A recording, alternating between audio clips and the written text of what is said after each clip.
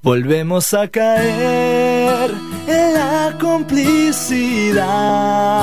Un beso es un tal vez con claro final.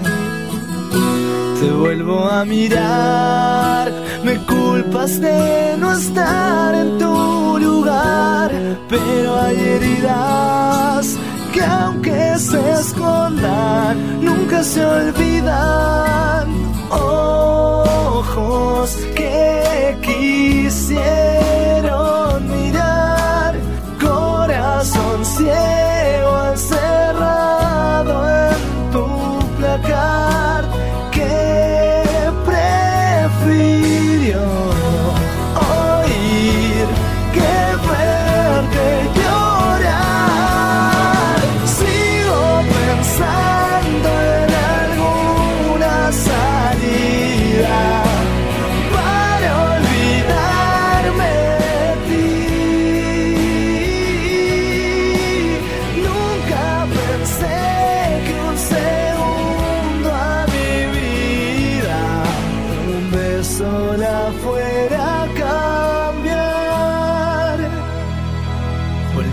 a caer como una noche más. Me pides que sea yo y me quieres cambiar.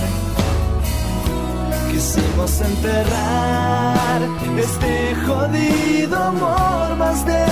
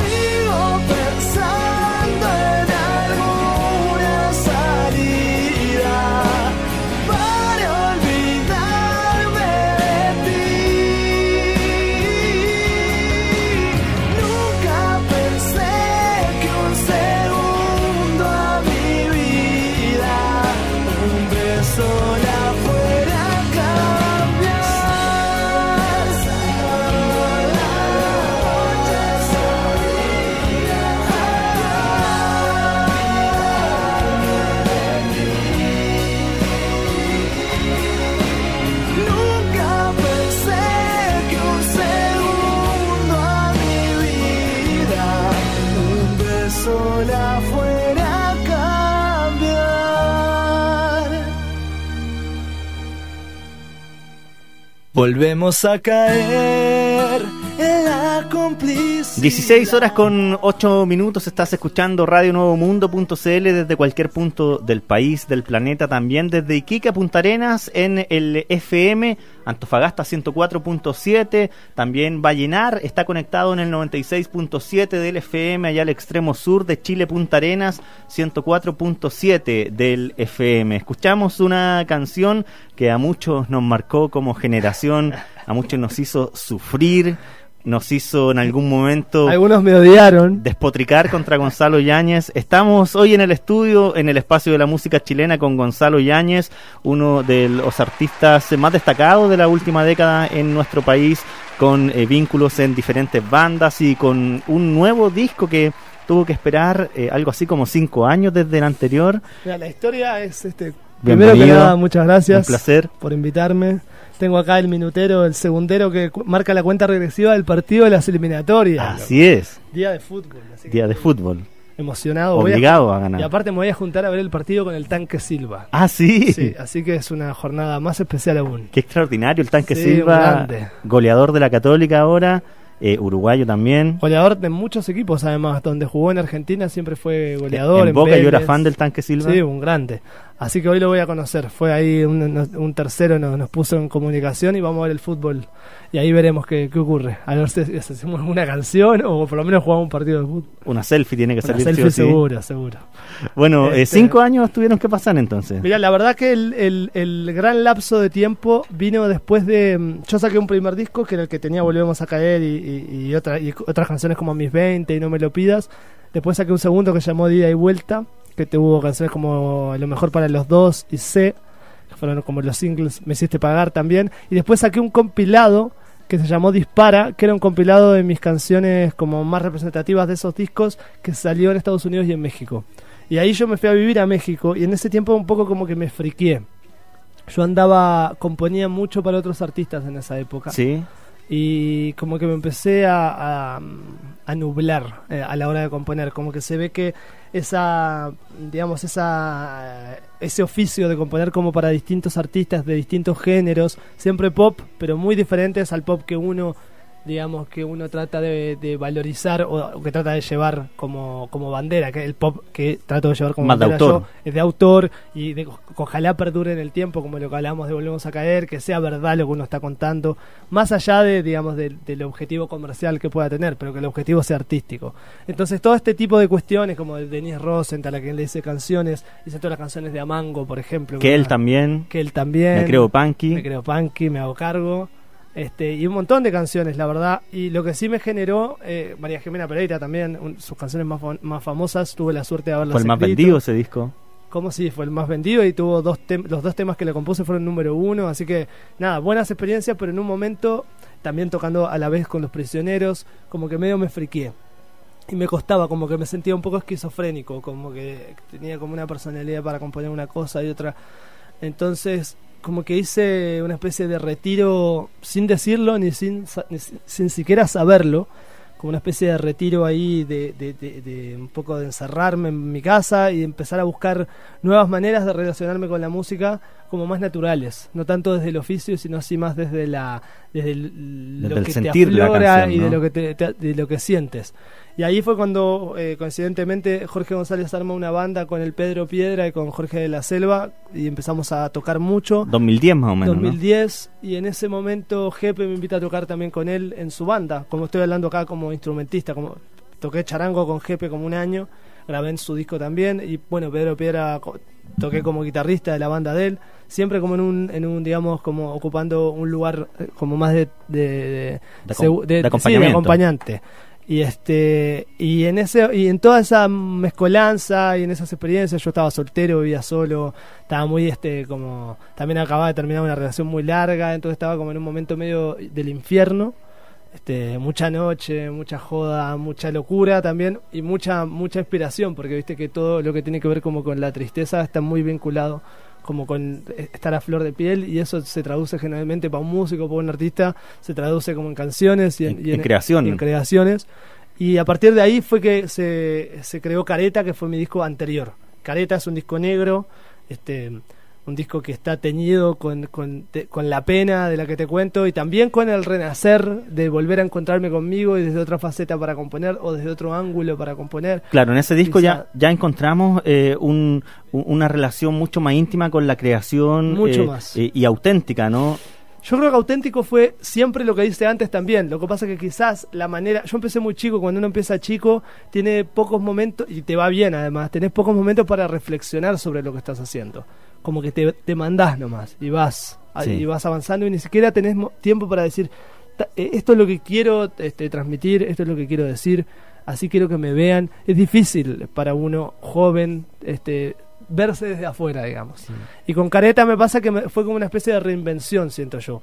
Este, Un reencuentro también, ¿no? un reencuentro y desde, como te digo, desde otro ángulo, el disco Careta fue hecho desde un, de- desde un enfoque que tenía cero pretensión de ser un disco que le gustara a mucha gente, sino más bien que me gustara mucho a mí y de compartirlo como con muchos amigos. Participan todos mis amigos en ese Sí. disco, desde el Andrés Nusser de Astro, la Cecilia Menábar, este, gente que ni siquiera cantaba, iba y cantaba en el estudio. Yo estaba súper abierto a que todo el mundo pusiera un poco de su alma y me prestara un poco de su fuerza como para yo también y volver a impulsarme, ¿cachai? Y las canciones son muy propias. Por ejemplo, Ser Indio, Sí. que, que es una canción de, de ese disco, es una canción de, de un gusto que uno tiene que descubrirlo. Eh, uno eh, se pregunta en las primeras escuchas eh, qué tipo de canción es esta, Sí. ¿Qué, qué género estoy escuchando. Y después uno se da cuenta de, de la conexión que, que tiene la canción con, con el autor finalmente, ¿no? Yo creo que hay, Ser Indio es una canción que este, mm, refleja muy, muy, muy bien como lo que a mí me gusta. Por ejemplo, para mí Ser Indio es un temazo.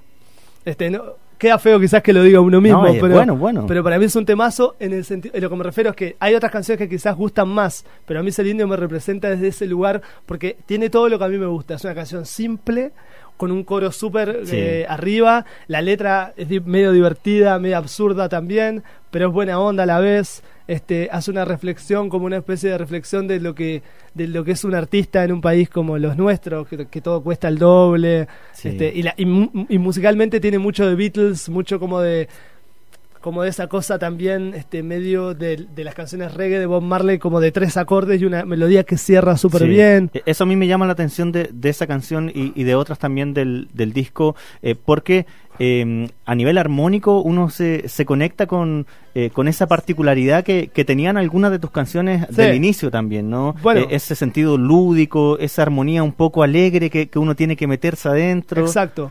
Bueno, yo creo que eso no, no, no se ha perdido en mis composiciones eh, desde que arranqué a componer y a, y a hacer mis discos. Creo que siempre ha habido un hilo conductor eh, bien claro. Ya sea desde la forma de abordar la canción. Yo soy como un loco bastante clásico para componer. Eh, no soy un tipo que experimento tanto ni con los sonidos. Yo soy más de la canción. Yo agarro mi instrumento y, y canto una canción y para mí tiene que tener una estructura y un coro y tiene que tener una parte donde baja. Digo, tengo como una, una cabeza muy, muy bitlera Sí. para componer, ¿cachai? Sí. Como muy de raíz de las canciones. a- Mis bandas, igual siempre mis referentes máximos son más de los años 60, ¿sí? los Beach Boys, eh, los Beatles. Ayer justo hacía un recuento, Bowie, ABBA, por ejemplo, soy fanático de ABBA, ¿cachai? Este, entre mil otros, Sí. etcétera. Y este, y bueno, ese disco me, me abrió y, y me trajo de vuelta como a, a la confianza de volver a hacer música que fue como ese, como tú decías, un lapso un poco largo, pero donde hice cosas, pero no, no, no de mi, de mi propia autoría o donde yo fuese el que estuviera eh, poniendo la cara. Y a partir de ahí, bueno, me, me, me fue bien con el disco, muy bien. Y después de eso, eh, me tocó otra etapa totalmente distinta, que es el del disco actual, que es Vuelve a creer en mí, que es un disco que me agarra siendo padre, con una casa que mantener, con un niño que anda por ahí revoloteando, con un este con responsabilidades, con, con horarios. Un hombre una- absolutamente realizado y responsable. O sea, no, no, no, porque lamentablemente ese es mi gran problema, que soy, sigo siendo un inmaduro en la mayoría de las cosas, pero trato de que no, ¿cachai? trato por favor, loco, ahí de enfocarme. Y, lo, lo- y un poco lo logré. Y, y lo que sí me pasaba es que me, ca- me, me cagaba de susto, iba a decir. Me daba mucho susto componer desde ese lugar, desde el confort. sí. ¿Cachás sí. que siempre todos mis discos los había hecho desde Volvemos a caer, que estamos Sí. hablando, hasta Siempre había dolores siempre involucrados, sí siempre procesos estaba de, era como una- era como un niño abandonado de reencuentro, de, de búsqueda, De- y, y acá a- había una, una etapa Sí, en, un- en que ya había una cierta seguridad. claro estaba en mi casa tenía que componer desde una hora hasta otra hora porque después se despertaba el niño el niño el niño y este y tenía que como un poco ajustar mis horarios a, a- a la dinámica de la casa. ¿Qué edad tiene ya el niño? tiene tres años el niño ya, ya. Julián. Ya- ya no es entró al jardín. No no es un campeón además un fenómeno. Y este y la verdad que, que fue difícil eh, proponérmelo decir cómo voy a hacer pero la verdad que, que salió bien. Yo creo que ahí sí es donde aflora un poco y donde uno rescata eh, eso que hablábamos antes que es el oficio porque el oficio este, a veces se vuelve predecible, pero en otros casos como este estaba bueno porque yo también tenía algo que me estaba sensibilizando mucho, que era el hecho de ser papá. Y bueno, de ahí salió este disco y este disco fue tomado para mí como un primer disco en muchos aspectos. Te invito, Gonzalo, a escuchar eh, la etapa anterior a este disco con Ser Indio, una Vamos. canción que acá la coreamos cada vez que aparece. Grandes. Eh, algunos eh, decimos Ser Indio, otros dicen Celine Dion. Es Está- que siempre aparece es esa libre, duda. es de ¿eh? libre Es libre interpretación. libre interpretación. Bueno, vamos a escuchar entonces Ser Indio y luego nos vamos con las más importantes canciones de el más reciente álbum de Gonzalo Yáñez, quien está visitando el www.radionuevomundo.cl y está volviendo a creer en sí también. Pasear en bicicleta como Amelie, entrar en tu cabeza y quedarme a vivir. Escúchame, escúchame, invitarte a comer al mejor restaurante. No sé por qué la carta siempre está en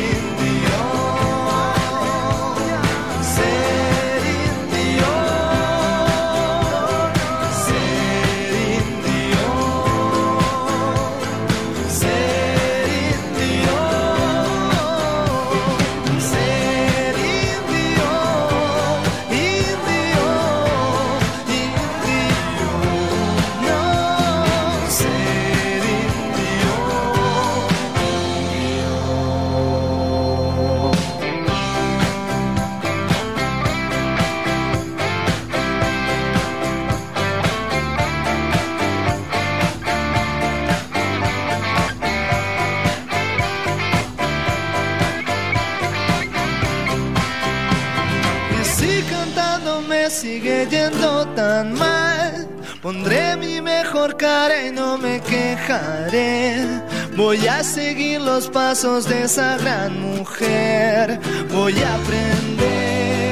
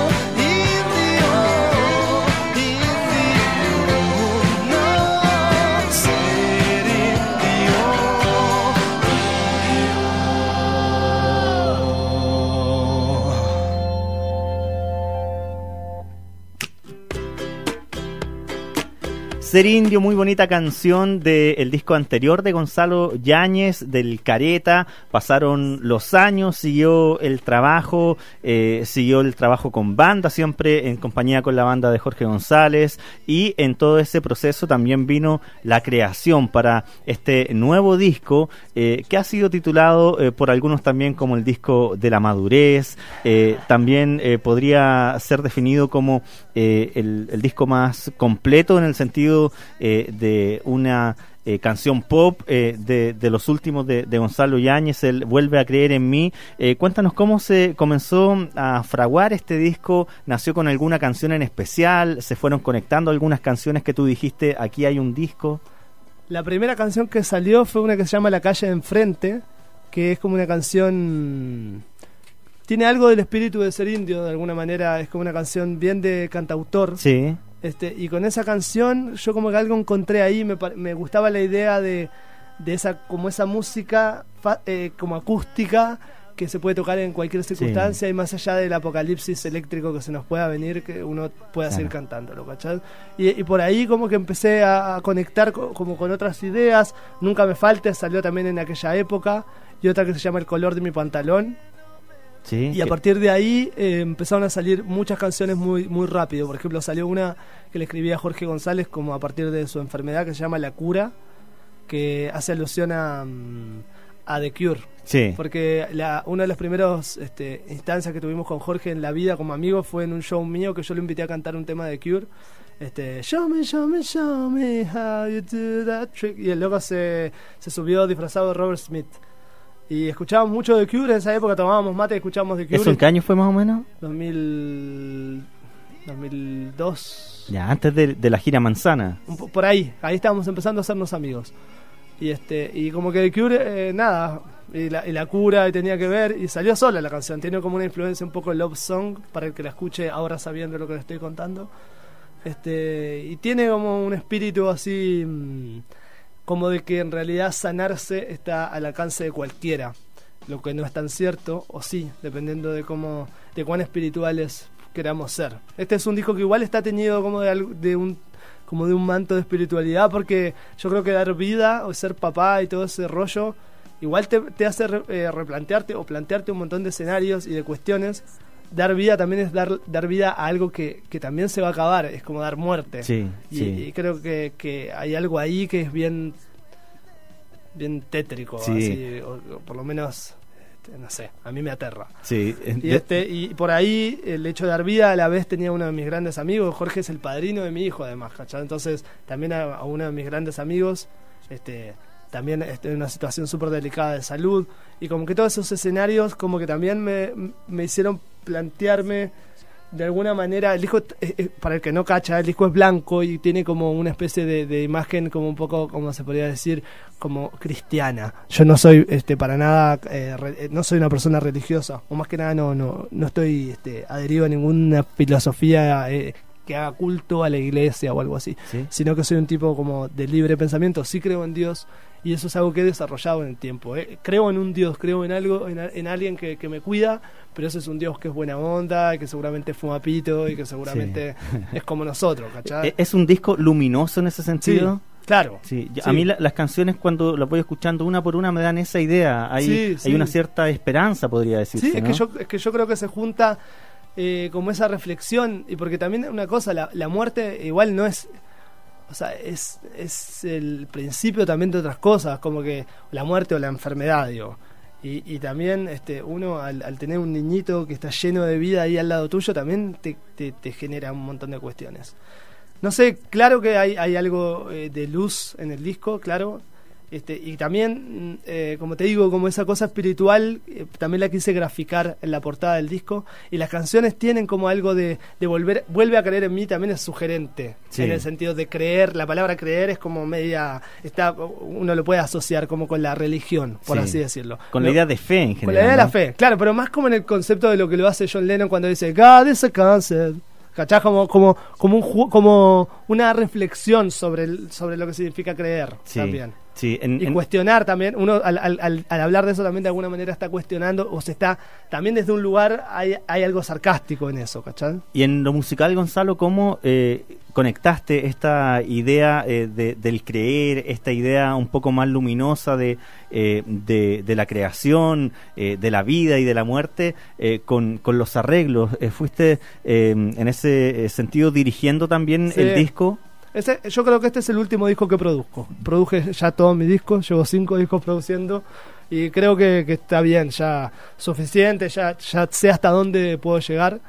Este disco por lo mismo también en términos de producción traté de, de irme por el lado que mejor conozco, que es como los discos más referentes para mí a la hora de hacer un disco solista son sin duda, por ejemplo, no sé, Plástico No Band, por decirte. Por ejemplo, Mother, como empieza, Mother, con la batería y el piano, si uno escucha, escucha Vuelve a creer en mí, que es el primer tema de mi disco, hay algo ahí que tiene Sí. mucho que ver, ¿cachai? Como el... La Sí. batería así media ringo, ringo, así como la batería bien básica, o medio Charlie García se podría, podría hacer también. Sí, hay una potencia muy, muy fuerte Sí, desde el de- inicio. sí, como cantar y medio gospel también. Sí. Tiene como harto, hartos como, como sugerencias ahí como de, de cantos gospel de muchas niñas y, y, y también, nada, este... Y, y en términos de, eh, de coro también es bien potente este disco, ¿no? Cada una de las canciones viene bien pegote. Sí, sí, sí. Bueno, también vale la pena y creo que está bueno contar que cuando hice este disco, una de las metas y una de las cosas que sí me planteé fue que al disco le vaya bien. Sí. Que eso eh, vale aclarar también a la gente que eso no quiere decir que uno vaya a hacer música que no le gusta. No. Pero de repente uno, uno capaz que es consciente o en otros momentos de la vida, como en la época de Careta, yo podía hacer una canción muy rara y, y darme el gusto de ponerla en el disco. En este caso, siempre tengo canciones raras. La gente, hay gente que no me cree, pero sí, tengo muchas canciones muy raras y, no la, y en este caso no las quise meter en el disco. En este disco traté de buscar un grupo de canciones que tuvieran que ver una con la otra, que fuese un disco más fácil de trabajar para Sí. la gente que lo trabaja. Este, y también eh, para mí marca, y te hablaba antes de que para mí es como un primer disco en el sentido de que marca también eh, la idea de trabajar todo lo que tenga que ver con este disco de una manera mucho más pro. Por decirte, el- la parte del show en vivo, las tocatas mías siempre fueron tocatas. Uno iba a ver a Gonzalo Yáñez y era una tocata donde seguramente llegaba más como en el plano de ir a divertirme que de ir a hacer un buen trabajo. Este, y creo que ahora me estoy tomando, con este disco me tomo mucho más en serio como artista, lo que puede ser este, terrible, pero eh, creo que ha sido bueno porque me lo he tomado con, con mucho profesionalismo. El, el show, hoy, un- hoy uno va a ver un show de Gonzalo Yáñez y es un show. Sí. A mí me importaba no gustarle a todo el mundo, pero que el que vaya pueda no gustarle, pero diga, loco, esto está bueno. Sí, y, y estas canciones están absolutamente buenas, vinculadas también con la idea de videoclip, en el sentido de Nunca me faltes, una canción eh, que eh, pega desde el inicio, que vamos a escuchar a continuación, que le ha ido muy bien también en eh, YouTube y que tiene una historia muy muy potente Sí. eh, detrás, ¿no? Sí. Una historia de resiliencia, de, de- de también eh, circunstancias adversas. Yo creo que esta canción habla básicamente del, del acordarse cuando uno está muy mal de que de cuánto vale ¿cachai? y de lo fácil eh, alguna gente me podría decir pero cómo decís eso pero de lo fácil que, que, que puede ser ser feliz si uno se, si uno se lo, se lo propone. Muy- uno siempre tiene cosas que lo pueden ayudar a salir adelante siempre.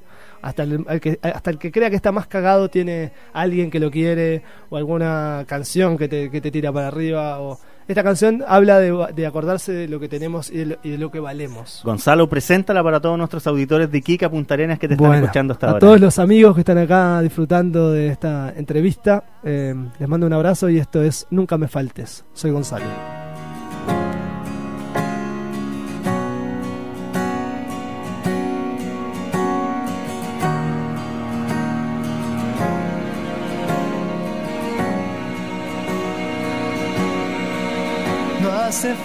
Falta una sola palabra para saber que se esconde una lágrima triste bajo tu piel. Implacable es el paso del tiempo sin avanzar. Solo falta el impulso del viento para saltar. Nunca me faltes. Quiero seguirte a donde vas y recordarte que brillas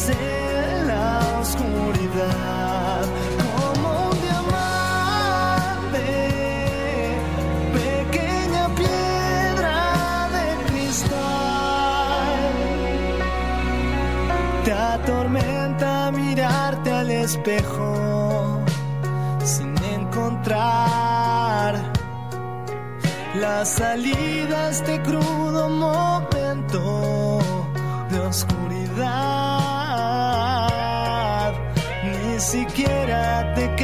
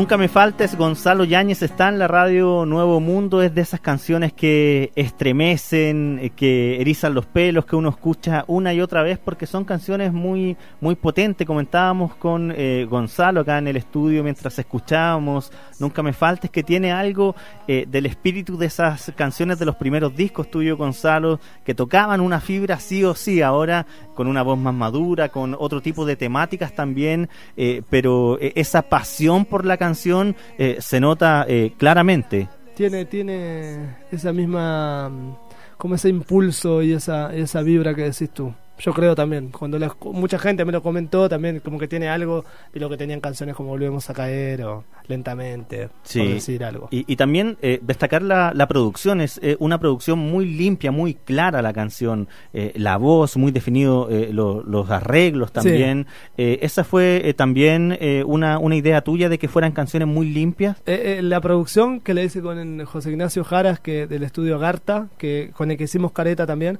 Antes de empezar el disco nos propusimos que fuese un disco con pocos elementos. Por ejemplo, si uno escucha esta canción, tiene una guitarra, bajo, batería, piano y un arreglo de cuerdas, pero no tiene mucha más, mucho Sí. más. Este, y el disco en general es bien limpio. Por ejemplo, Vuelve a creer en mí, que es la primera, no, creo que no- tiene una guitarra al final del primer tema. A toda prisa, por ejemplo, no tiene guitarras, tiene un cinto, un teclado, un Hammond y eso, quisimos como grabar pocas cosas. Yo creo que en- eso es algo que sí he aprendido produciendo. Creo que es como cuando uno suma muchas capas, después se pierde como lo esencial. Lo, creo que lo ideal es como grabar poquitas cosas, pero súper Sí, sí. como... Y, y que eh, se escapa un poco de, de lo que está haciendo mucho de la escena musical hoy en día en Chile, eh, que es eh, adscribir eh, a ciertas atmósferas musicales en donde eh, Claro. importa eh, que haya mucha máquina, se está jugando mucho, se está experimentando mucho, a diferencia de, de este tipo de canción que, que es más limpia. ¿Cómo ves tú en ese sentido dónde se enmarca tu disco actual? Ah, mira, yo, yo lo pongo, siempre digo que es un disco de cantautor, la música que hago yo, me gusta decir que es de cantautor, y sobre todo, más que de cantautor, también la música que yo hago siento que es como música temporal. A mí me importa mucho tratar de no caer en los sonidos que están de moda. Porque creo que como siempre ha pasado, ahora justamente, por ejemplo, ahora si uno escucha, sea, como hace mucho tiempo ya, pero ha visto ha, ha- ha habido como un revival de los 80, Sí. hace, un hace ya un largo tiempo, y pero durante muchos años eh, eh, era, pues yo me acuerdo, a mí los discos que yo más odiaba eran los discos de los Stones de los 80, los de Charlie García de los 80, o como que como que ahora sí, ok, hay como un revival, pero en general los discos envejecen cuando uno se ciñe mucho a, a la, a la- a contingencia sonora. Sí. Yo, por ejemplo, ese tipo de experimentación a mí no me... Si una canción requiere de un sintetizador o de, de un Moog y voy por ahí, todo bien, pero no lo busco y no quiero quiero tratar de que mis canciones siempre suenen como de como que podrían haber sido grabadas hoy o dentro de 20 años o hace 30 años, ¿cachai? Como Sí. que me interesa eso, como como permanecer que la canción sea la que mande, no el contexto sonoro, ¿cachai? Y en ese contexto, en, en esa idea, en esa línea, el color de mi pantalón, eh, ¿qué, qué relato dice? Yo la estuve escuchando, escuché todo el disco en la mañana y fue eh, una de las canciones que más me gustó también Sí. porque viene con esta misma idea de canción. Sí, Eh, sí, eh, eh, Es muy canción en cuanto a- al relato, al coro, eh, al, al mensaje musical que entrega. Es de las pocas canciones que habla de, un momento mío, no sé por qué, como que también ahí esa canción, eh, no sé si es tan gráfica del momento en el que la hice, pero habla de un poco del estar abandonado. Este, y de tratar, viste que yo a mí siempre me ha causado este gracia eh, la gente que quiere como por ejemplo termina una relación y se corta el pelo y se empieza a vestir de otra manera y se pone otro, otro- Sí. se viste como con más colores o como, como si eso fuese a, a- a- a cambiar algo, ¿cachai? En el fondo, eh, digo, por más que cambies las cosas superficiales, lo, lo, lo importante va a seguir estando, lo que te duele te va a seguir doliendo. bueno, son estrategias y no tengo nada contra eso, pero de eso habla un poco la canción y en términos musicales era como trata como de un poco homenajear esas canciones que con las que crecí, tipo canciones como de los auténticos decadentes, Sí. tipo loco tu forma de ser. Sí, sí. Y este y tiene como un poco esa cosa guitarrera como de este Sí, tiene harto jueguito. Sí, es como, Sí. y la letra habla de los amigos, y como Sí. que tiene una cosa medio rioplatense la, la letra, encuentro yo. Y el título también es muy sugerente, ¿no?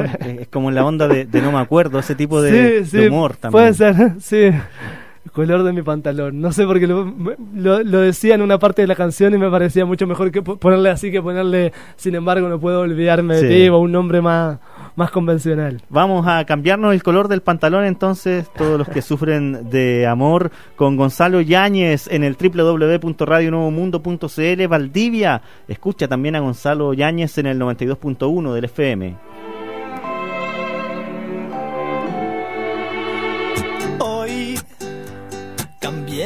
Radio de estación y hasta el color de mi pantalón. Mandé a reparar mi corazón y no recuerdo dónde quedó. Voy a besar a cualquier mujer y tomar hasta el amanecer. Y me voy a perder por ahí. Voy a ser un borracho feliz, salir con mis amigos que siempre están conmigo y calman mi ansiedad. Sin embargo, no puedo olvidarme de ti, por más que lo intento, hay algo que aprendí, que por más que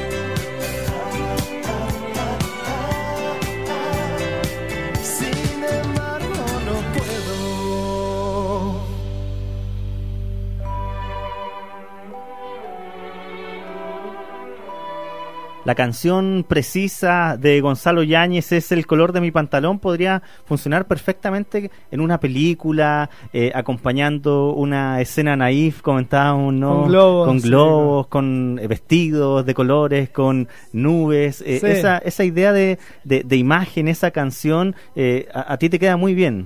Cierta ingenuidad Sí. que quizás no tengo en mi vida y por eso la, la busco en la música. Puede ¿Sí? ser. Sí, en mi vida la verdad es que soy un loco bastante, ya bastante curtido, bastante navegado. Ya no queda tanta ingenuidad. Poca, cada vez menos. Igual sí, me sigo sorprendiendo con cosas. Por ejemplo, cuando me entero. Cuando me, por ejemplo, una de las cosas que más me, me- me impresionó fue cuando me enteré que, la, que estaban metiendo presos a todos los tipos de la FIFA por corruptos. Uno que es tan fanático del fútbol, por ejemplo. Ese tipo de cosas me, me- todavía me impresionan. Pero uno nunca se las sabe todas, pero igual sí siento que, que- que hay poco de ingenuidad en mi, en mi forma de, de vivir. Gonzalo, ¿y cómo estuvieron los escenarios en el verano? Eh, ¿Qué descubriste? ¿Te sorprendió algo en cerca de 15 eh, lugares en donde los te, te presentaste? Sí, la verdad que te estábamos hablando ahora fuera de Off the Record, que en realidad es el verano que más toqué. Toqué muchísimo por todo Chile. Bueno, también me tocó que me invitaran a la cumbre del rock como artista, además de tocar con. que me tocó mm, tocar con Jorge González ese día también, pero me invitaron como, como artista. Eso marca las claras una que por lo menos para, para la gran mayoría soy considerado como un músico chileno, que es, ha sido una de mis luchas. Siempre digo que, este, y me comparo con, con, eh, eh, desde un lugar también de que soy amigo de los hijos y todo, pero con Gervasio, que para mí es Sí. tremendo referente, un uruguayo que hizo su carrera en. Chile y que es considerado como Chileno. un chileno más. Tú llegaste a los 13 ya. Llegué a los 13. Más, más de la mitad de tu No, y, vida. to- y en todos Chile. mis discos los he hecho aquí. Y todos Sí. mis discos han sido editados acá. Quizás en otros lugares también, pero siempre primero aquí. Entonces mi música siempre, yo he dicho, mi música es chilena, porque la hago aparte observando mi entorno. Este, entonces que me hayan invitado fue una grata sorpresa y muy agradable para mí. Y por otro lado, eh, bueno, eso siguió y se, se expandió por todo Chile, se- seguimos tocando, y haciendo este show que estamos haciendo ahora, el disco, del disco nuevo, que obviamente abarca eh, una gran parte de este disco, pero recorre todas las canciones. Todos los hits históricos. Claro. Sí, y en ese sentido, eh, ¿cómo estás sintiendo el escenario hoy? Eh, así como está luminoso tu disco, eh, tu show también eh, está eh, con, con esta disposición de, de, un Gonzalo eh, nuevo, reinventado, eh, que, que está mostrando eh, algunas de, de, las nociones musicales que eh, te conocimos en los inicios. Yo creo que hay, hay, hay algo en este momento que es lo que me ha dado el trajín, que es lo que te da el haber tocado mucho. A mí me tocó em, tener muchas experiencias en vivo muy heavies, no solamente con mi proyecto, pero sí con Los Prisioneros, también con, bueno, con Jepe, con Pedro, todas esas experiencias en escenario a uno le, le suman mucho y sobre todo creo que lo que lo que más te ayudan es en el control de la ansiedad. ¿Cachás que uno de repente no es capaz de disfrutar un show porque obviamente es mucha la presión, hay mucha gente?